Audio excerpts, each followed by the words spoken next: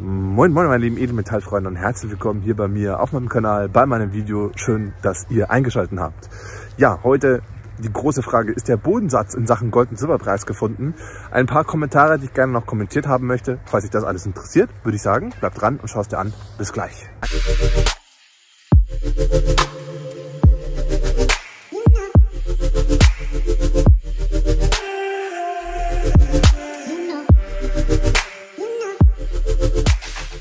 Ja, schön, dass du dran geblieben bist.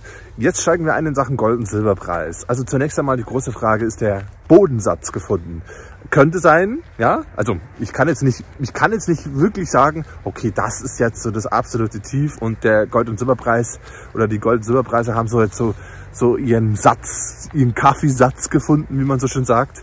Ähm, ich glaube aber schon, ja, das ist so meine Vorstellung des Ganzen, aber auch gerne kommentieren, ob ihr dazu andere Vorstellungen, Vorstellungen habt oder ob ihr da vielleicht andere Ideen dazu habt.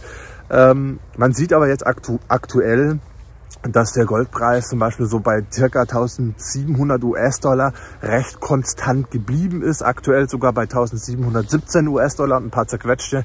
Ähm, und auch mal ein bisschen, also ein, zwei Tage davor auch mal ein bisschen drunter, also natürlich vor dem Wochenende, klar. Ähm, aber aktuell scheint es so zu sein, dass wir vielleicht jetzt erstmal so ein bisschen so eine Konsolidierung sehen werden. Zumindest diese Woche noch so, könnte ich mir vorstellen. Vielleicht mit ein paar Höhen, ein paar Tiefen. Also das ist jetzt so sozusagen so mein Szenario, was ich so im Kopf habe. Ähm, erstaunlicherweise, und da kommen wir auch gleich zum Thema Silber und Silberpreis, muss man sagen, dass der Silberpreis ähm, diese Abwertung oder diesen, dieses Finden von dem Bodensatz, liebe Freunde, sehr, sehr, sehr gut überstanden hat. Das muss man einfach so festhalten. Es ist jetzt aktuell wieder knapp, ähm, mag sich jetzt ähm, während der Aufnahme meines Videos auch wieder ein bisschen geändert haben, ähm, bei knapp 27 US-Dollar pro Pfannunze Silber.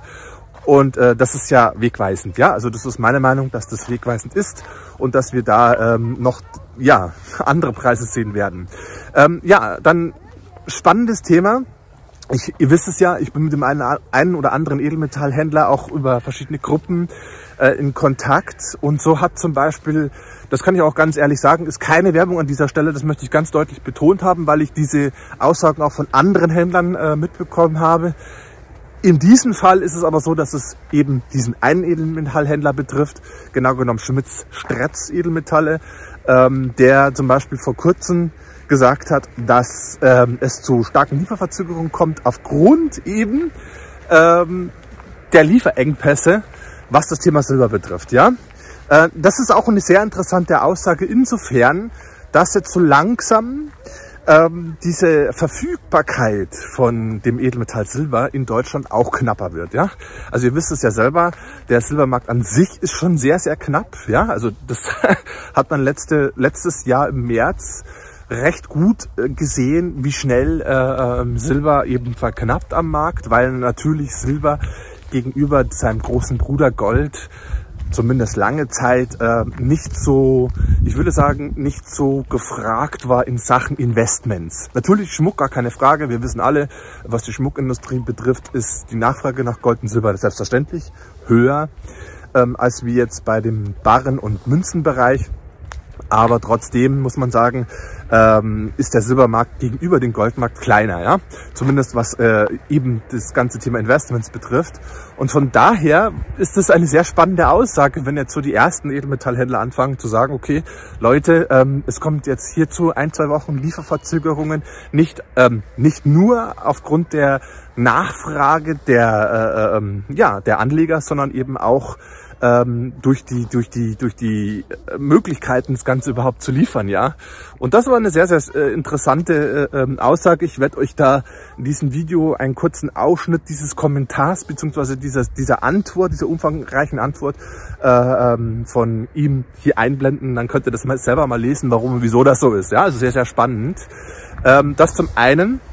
Dann im letzten Video habe ich ja schon gesagt, ich muss mal die Hand wechseln, ähm, was das Thema und dazu werdet ihr auf, auf YouTube ja auch eine Menge Videos finden, was das Thema Short Squeeze Silber betrifft, ja. Und ähm, was, da habe ich ja auch nochmal sozusagen wiedergegeben, was andere YouTuber von sich aus schon ähm, festgestellt haben, äh, was das ganze Thema mit, den, mit der Comex betrifft, die Kontrakte, dass eben die Händler meistens sind Händler, natürlich, da mögen auch der ein oder andere äh, Privatanleger auch dabei sein, das ist ganz klar, aber meistens sind es wahrscheinlich Händler in den USA eben sich das Zeug ausliefern lassen, ja, also mehrere Millionen von Unzen Silber und natürlich auch ähm, Millionen von Unzen Gold, gar keine Frage, ja. Von daher ähm, wird auch dieses Thema langfristig bei der Preisfindung in Sachen Edelmetalle sich niederschlagen. So, da musste ich einen kurzen Cut machen. Hier ist nämlich ein Trecker oder wie sagt man, Bulldog, keine Ahnung, sagt ja jeder anders, vorbeigedüst.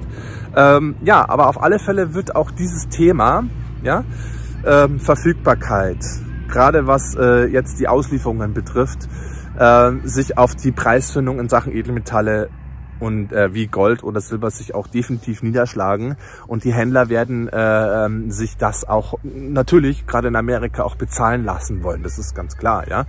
Und äh, von daher wird dieses Thema langfristig also kurzfristig, langfristig in Klammern gesetzt, ähm, auch auf das, ja, auf Europa zukommen, ist ganz klar, weil ähm, eben die verschiedenen äh, Münzprägestätten eben nicht alle in Deutschland ansässig sind und von daher ähm, logischerweise äh, ähm, ja, diese Lieferengpässe dann äh, stärker werden, weil natürlich andere Länder genauso nachfragen. Und da ist ja Deutschland äh, nicht alleinstehend, auch wenn man sagen muss, dass Deutschland oder die in Deutschland lebenden Menschen, ähm, was das Thema Edelmetalle betrifft, sehr, sehr äh, edelmetallaffin an sich sind. Ja, Also muss man sehen, es bleibt, und das ist meine Meinung, zu diesem ganzen Thema, gerade dieses Jahr sehr, sehr spannend, was das Thema Edelmetalle betrifft. Und ähm, ich bin nach wie vor davon überzeugt, aber auch gerne kommentieren, wie ihr das seht. Ich meine, das sind die Meinungen ja sehr unterschiedlich, dass wir dieses Jahr definitiv noch den einen oder anderen hohen Preis ja, äh, sehen werden in Sachen Edelmetalle. Und wer weiß, ob naja, da vielleicht nicht der ein oder andere in Sachen Silber noch sehr äh, äh, überrascht sein wird. Ja. Ähm, dann blende ich euch in diesem Video auch noch einen Kommentar ein von jemandem, der auch meine Videos schon länger verfolgt. Auch ein sehr interessanter Kommentar, wie ich finde. Ähm, der zum Beispiel, ich fasse es mal so aus meinem Gedächtnis jetzt ein bisschen zusammen, ähm, mehr oder weniger ausgesagt hat, dass ähm, ja dieses Thema Edelmetalle und Investments, man, dass, dass man das generell dieses Thema entspannt sehen muss, ja, und dass man äh, eben nicht wie soll ich sagen, und das sage ich ja oft in meinen Videos, immer irgendwelchen bescheuerten Trends hinterherlaufen muss. Und das ist so eine Sache, liebe Freunde, ich verstehe es manchmal nicht, wie man so, so, äh, ähm, ja, wie soll ich sagen, wie so ein Herdentier eigentlich, ja. Im Prinzip beschreibt es das ja ganz gut. Ähm, immer irgendwie irgendwelchen Trends oder irgendwelchen fortlaufenden Normen oder Werte hinterherrennen muss. Das ist so, so eine Sache, ähm, die verstehe ich nicht, ja. Und äh, das ist auch leider Gottes ein Riesenfehler und das betrifft nicht nur Edelmetalle in Sachen Investments, ja. Weil nämlich die Leute dann dadurch, dass sie eben einen Trend hinterherlaufen, zu spät in diese Assetklassen einsteigen und weil dann eben sie, weil sie dann eben sehen, oh, der verkauft's ja auch, oh, der macht's ja auch, der terminiert ja auch, oh, und der hat ja auch Angst. Und dann eben zu spät, beziehungsweise ja doch zu spät verkaufen, weil diese Aussagen, ja, wenn dann ähm, diese Trends kommen, ich muss schnell verkaufen, weil es fällt immer weiter und weiter und weiter, weiter, eben zu spät bei dem Privatmann ankommen, ja. Die wenigsten haben äh, den direkten Zugriff auf die direkten äh, äh, ähm, ja, äh, Veränderungen an der Börse. Das, das ist nicht so, ja. Und das, das sind dann so fortlaufende Prozesse, ähm, die wo leider Gottes meistens zu spät äh, ja, folgen wenn man so will, ja. Und von daher kann ich immer nur wieder appellieren, und das ist meine Meinung, ähm, macht eure eigenen Gedanken, ja. Lauft nicht irgendwelchen bescheuerten Trends hinterher und haltet an dem fest, was ihr schon habt, ja. Lasst euch das nicht so einfach, ähm, ganz einfach so aus der Tasche ziehen. Das wäre in meinen Augen nicht richtig. Aber wie gesagt, das ist ähm, jetzt hier keine Empfehlung meinerseits. Ihr wisst es ja, ich darf nicht offiziell beraten, sondern das ist, ich gebe hier nur meine Meinung zum Besten. Ähm, letzten Endes muss das natürlich jeder für sich selbst entscheiden, wie und was ähm, er sie für richtig hält in Sachen Investments, ja. Das muss man einfach auch mal dazu stehen und das einfach mal ganz deutlich betonen, ja, auch wenn auf YouTube der eine oder andere so ähm, tut, als wenn das die Weisheit aller Götter ist. So ist es halt nicht. Ja, ich meine, allein in Deutschland haben wir über 84 Millionen lebende Menschen und so viele Menschen, wie es auf der Welt gibt, so unterschiedliche Meinungen gibt es. Ja, und äh, da kann man halt nicht sagen, dass es der goldene Weg. Ja? Wo, wo wir uns aber wahrscheinlicherweise oder sehr viele einig sind, ist die Tatsache, dass dieses Thema Gold in sehr, sehr vielen Flosken, Floskeln und in sehr, sehr vielen Wort, Wortspielereien und in sehr vielen Sätzen und Geschichten auftaucht. Und ähm, da sind wir wahrscheinlich auch viele einig oder wir uns einig, dass das Thema Edelmetalle ja, dieses Jahr noch für sehr viele Überraschungen sorgen wird. Das ist meine Meinung. Gerne kommentieren. Ähm, das zu meinem kurzen Outdoor-Video. Wenn es euch Spaß gemacht hat, lasst mir wie immer einen großen Daumen in nördlicher Richtung da. Über Abos freue ich mich sehr. Und dann würde ich sagen, sehen wir uns im nächsten Video. Danke für eure Zeit. Bis dahin. Ciao mit V. Euer Matze.